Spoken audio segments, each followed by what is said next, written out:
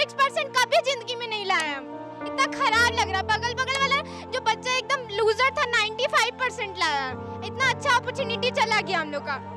खराब नहीं लगेगा। हमेशा हम अच्छा नंबर लाते थे। सारा टीचर बोला था हमें टॉप करेगी।